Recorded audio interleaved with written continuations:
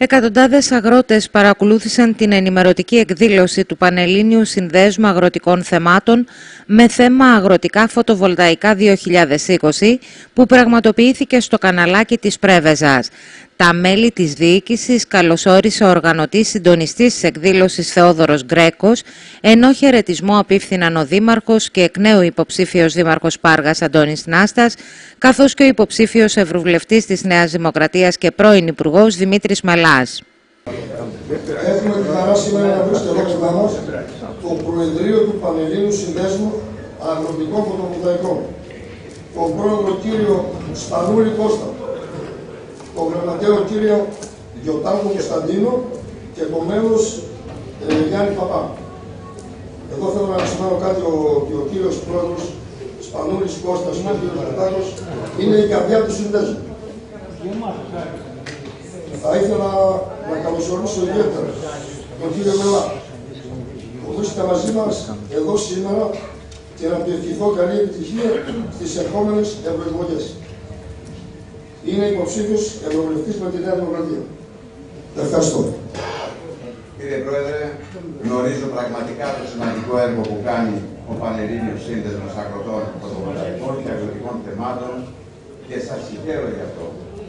Συγχαρητήρια και σε εσάς, τον Δωρή και Γιάννη, γιατί πραγματικά εσείς ήσασταν η πηγή, η ομάδα πραγματικά σήμερα ε, μαζεύτηκε όλος αυτός ο κόσμος για αυτή τη σημαντική ενημέρωση.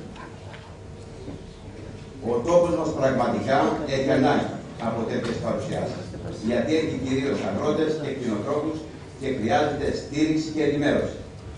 Επίσης θα ήθελα να καλωσορίσω και εσάς προσωπικά κύριε Μελά και χαίρομαι πραγματικά που σας βλέπω και σας γνωρίζω. Είναι τιμή που συμμετέχετε σε αυτή την προσπάθεια αναβάθμισης του αγροτικού τομέα. Τόσο σαν αναπληρωτής υπουργός αγροτικής ανάπτυξης, όσο και σαν γραμματέας αγροτικής πολιτικής, γνωρίζω πως είχατε αναλάβει πάντα πρωτοβουλίες, εργαζόσασταν για την επίλυση των προβλημάτων, όπου και όταν χρειάστηκε. Ο αγροτικός τομέας σας, σας είχε πάντα πραγματικά, κύριε Μελά, πάντα δίπλα. Το γνωρίζω γιατί η θετία μας και εμάς τόσα χρόνια η εμπειρία και η γνώση σας μπορούν να συμβάλλουν στην, στην ουσιαστική ανάπτυξή τους. Μπορούν να βοηθήσουν τους αγρότες μας τόσο στα ζητήματα της νέας κοινής αγροτικής πολιτικής, όσο και στα ζητήματα των φωτοβολταϊκών. Θέλω να πω λοιπόν πραγματικά ότι η αυτή προσπάθεια ξεκίνησε και νομίζω ότι έχω συμβάλει σε αυτής στην αρχή της. Κάναμε πολύ αγώνα με τον Πρόεδρο. Πέρασε στις αρχές του 2015. Πέρασε 40 κύματα. Νομίζω ότι βρίσκεται σε ένα πολύ καλό σημείο. Και σε συνέχεια αυτού ήθελα να πω για την επόμενη περίοδο ότι πραγματικά τέτοιες προσπάθειες σε μία σειρά, σε μία παλέτα μέτρων ε, μπορούν πραγματικά να δώσουν τη δυνατότητα για μια αξιοποίηση των πόρων που έρχονται. Μεταξύ όλων των άλλων, που το είχα αναφέρει και στον Άπλιο, η επόμενη περίοδος, η οποία μάλλον θα αρχίσει από το 2022, η επόμενη περίοδος ε, στρέφεται προς μια πιο παραγωγική μορφή. Δηλαδή, ο στόχος της επόμενης περίοδου είναι αύξηση παραγωγικότητας. Το αύξηση παραγωγικότητας μεταφράζεται είτε σε αύξηση απόδοσης, παραγόμενου προϊόντος σε καλλιεργούμενου είδους, ε, για τους κτηνοτρόφους μιλάω, παραγόμενου προϊόντος, είτε αύξηση υπεραξίας του προϊόντος, είτε μείωση του κόστους, είτε όλο μαζί. Αυτό που θα πρέπει να έχουμε υπόψη μας είναι, και που δεν νομίζω ότι πρέπει να αλλάξει, είναι ότι στην επόμενη περίοδο θα υποχρεούνται σε μέτρα πρασινίσματος όλοι οι αγρότες. Μέχρι τώρα είχαν περιοριστεί σαρωτρές, ε, σαρωτρές καλλιέργειες. Στην επόμενη περίοδο θα έχουν υποχρέωση για εφαρμογή περιβαλλοντικών μέτρων και μιας παραλλαγής πολλαπλής συμμόρφωσης για τους κτηνοτρόφους ε, και εκείνοι που καλλιεργούν ε, δεντρώδει καλλιέργειε. Άρα ε, φαίνεται καταρχήν αρκετά δύσκολο. Όμως, η μεγάλη μετατροπή στην οποία πρέπει όλοι να δουλέψουμε και προσπάθειες τέτοιε να διευρυνθούν και προς άλλους τομείς. Και πρόεδρε, ξέρω πολύ καλά την προηγούμενη θητεία σου σε άλλα πόστα ότι έχεις προτείνει διάφορα πράγματα και τώρα θα βρουν πραγματικά βήμα γιατί η δυνατότητα που σου δίνει για πρώτη φορά η επόμενη περίοδος είναι να επιλέξει ο αγρότης τη χρήση περιβαλλοντικών μέτρων από μια παλέτα και να μην μπει σε μακροχρόνια δέσμευση ενός και μόνο μέτρου. Λέω παραδείγματος χάρη κάτι γνωστό είναι η τρορύπανση. Η τρορύπανση όπως και άλλα μέτρα αγροπεριβαλλοντικά, με συγχωρείτε, ε, σε βάζουν σε μια μακροχρόνια δέσμευση και εφαρμόσει αυτά τα μέτρα με την υποχρέωση που έχεις, είτε αυτό το πράγμα με βάση το, την εκμετάλλευσή σου είναι υποφελέ, είτε δεν είναι. Αυτή τη στιγμή σου δίνει λοιπόν το νέο πλαίσιο τη δυνατότητα να ορίσεις μια ομάδα περιβαλλοντικών μέτρων και από τα οποία κάθε χρονιά θα μπορείς να αξιολογείς κατά πόσο αυτό είναι υποφελέ για σένα ή είναι περισσότερο κοστοβόλο και δεν σε συμφέρει και να παίρνεις τρία άλλα μέτρα από την παλέτα αυτή ώστε να καλύπτεις το 30-40% όσο χρειαστεί. Αυτό σημαίνει επίσης ότι θα προταθεί μια σειρά νέων μέτρων. Και μέσα στο κομμάτι αυτό, και επειδή θα αναφερθείτε για τι γέε ψηλή παραγωγικότητας, υπάρχουν μέτρα τα οποία μπορούν να κάνουν συνδυασμούς και καινοτομίες, όπως να μπορέσεις να εξαγοράσεις ρήπους χρησιμοποιώντας γη ψηλή παραγωγικότητας και φωτοβολταϊκά. Στα αγροτικά φωτοβολταϊκά και τις ισχύουσες διατάξεις αναφέρθηκε από την πλευρά του ο Γενικός Γραμματέας του Πανελλήνου Συνδέσμου Αγροτικών Θεμάτων, Κωνσταντίνος Γιωτάκος. Ο δικό μας σύλλογος διακρίνεται και λέει ότι 365 μέρες το χρόνο είναι παρόν. Και δεν ξυπνάει κάποια, κάποιο Νοέμβρη για να πει ότι σήμερα έχουμε πρόβλημα και κάτι πρέπει να κάνουμε. Να κλείσουμε τον δρόμο, να αρχίσουμε το κάλα στον δρόμο. Το οποίο χρειάζεται, είναι καλό και τα μέλη μας καλούμε να το κάνουν. Ωστόσο, το τρένο πολλές φορές χάνεται και αυτό που μένει είναι η τηλεοπτική εικόνα μετά από το χύσιμο του γάλακτο και οι εντυπώσεις για τους αγρότες που προβάλλονται ότι εμείς κάνουμε αυτό που κάνουμε και για τον υπόλοιπο κόσμο ότι οι αγρότες είναι αυτό το πράγμα που παίρνουν επιδοτήσεις και χύνουν το γάλα και κλείνουν τον δρόμο. Δεν είναι μόνο αυτό οι αγρότες. Οι αγρότες είναι για να δημιουργούν και να υλοποιούν την προοπτική που είναι και ένα από τα σημερινά μας θέματα, πολλά μάλλον από τα σημερινά μας θέματα. Ουσιαστικά γνωρίζω, γνωρίζουμε ότι σας ενδιαφέρει ε, η νέα επιτυχία του συνδέσμου το να διεισδύσουν οι αγρότες στον ενεργειακό ανασχηματισμό της χώρας 2020-2030 ε, με ένα φωτοβολταϊκό 500 μέχρι 500 κιλοβάτ.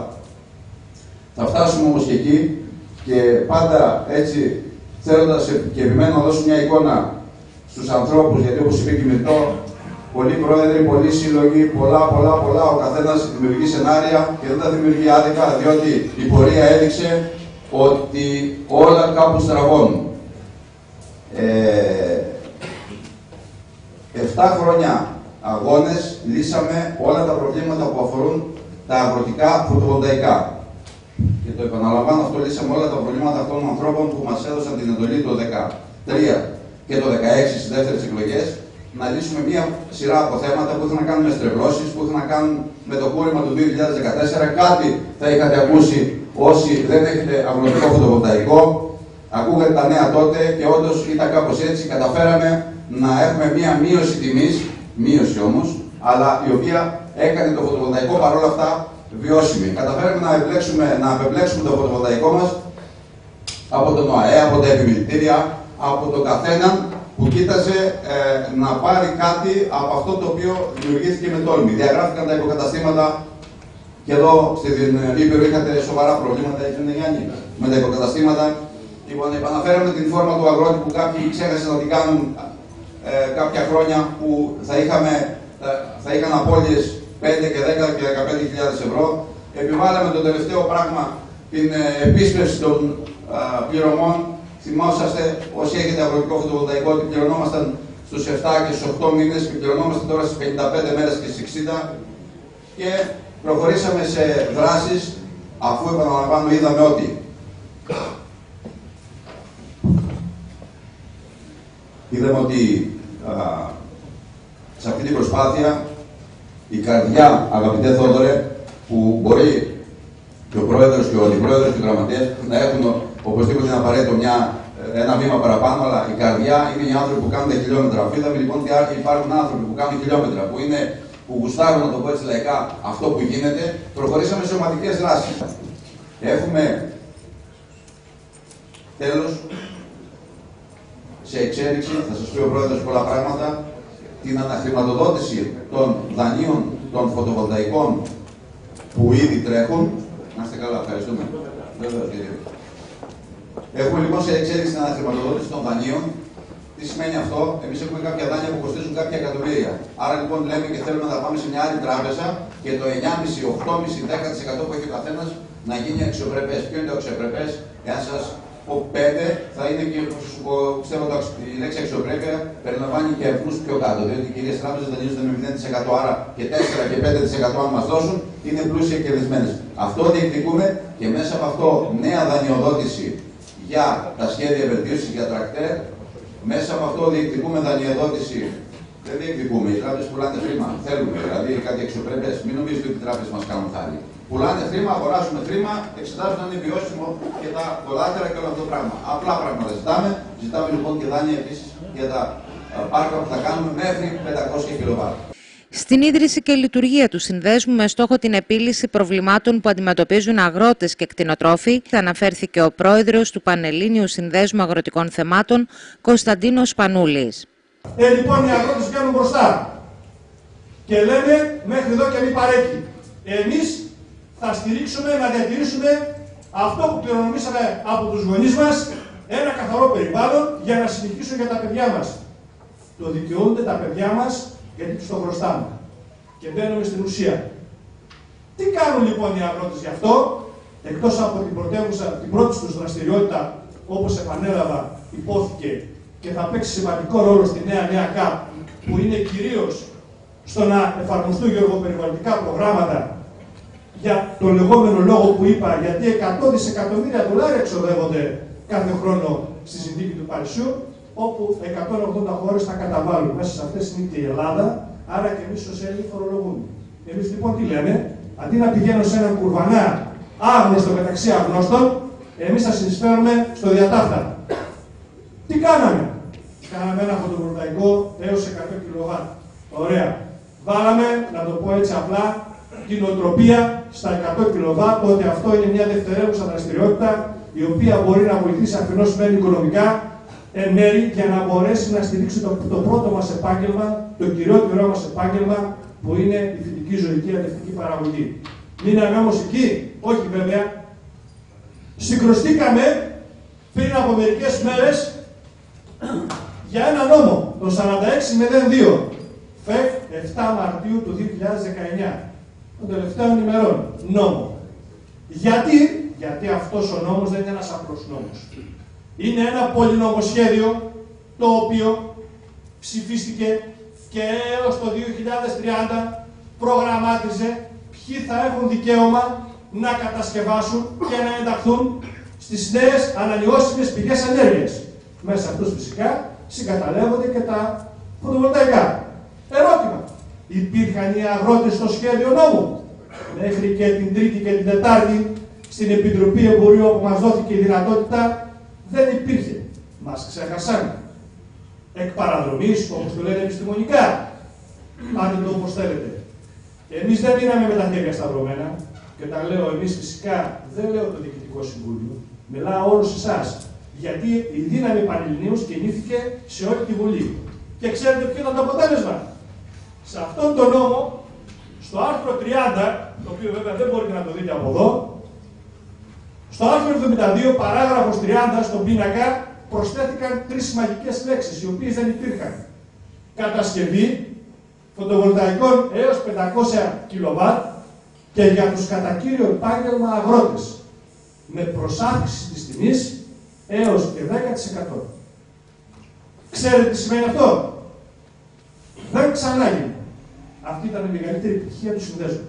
Του συνδέσμου όχι για τα μέλη του συνδέσμου, των αγροτικών φωτοβολταϊκών των αγροτικών θεμάτων, αλλά για όλο τον αγροτικό κόσμο. Και γιατί; Γιατί για πρώτη φορά στα ιστορικά δεδομένα σύνδεσμος αγροτών στάθηκε στο ύψος των περιστάσεων μέσα στη Βουλή και κατόρθωσε να εντάξει κάτι που δεν υπήρχε.